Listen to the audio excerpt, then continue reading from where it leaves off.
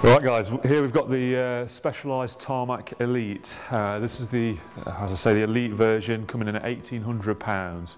For £1,800 you get a full carbon frame, carbon fork, Shimano brake and uh, gearing 105, uh, DT, DT wheels, uh, the tarmac sits sits in the middle of the uh, the Roubaix and the Venge.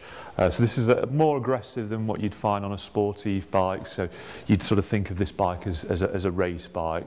More aggressive geometry, this bike, I mean, when you, when you ride this bike, it feels aggressive. You, you, you're in the attack position pretty much all the time. With that in mind, this, it's important that you get this bike set up correctly because you're in that more aggressive stance. Um, some people often talk about the a race bike being a little bit uncomfortable. Uh, what I would say is, is invest that invest that money in getting the bike fitted to you.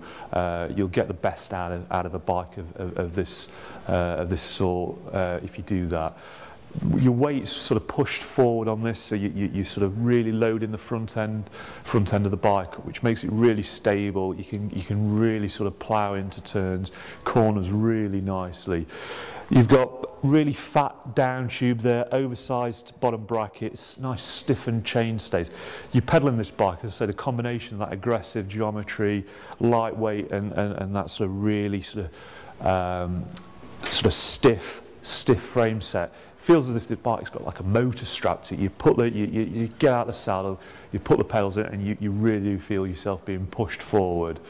Um, great bike for if, if you just want to be really sort of pushing yourself on, on a Sunday club run or even even if you're sort of getting into uh, a bit of road racing. Great bike, perfect frame set for, for upgrading as time goes by, but off the peg, wonderful bike. 1800 pounds here at Rutland Cycling.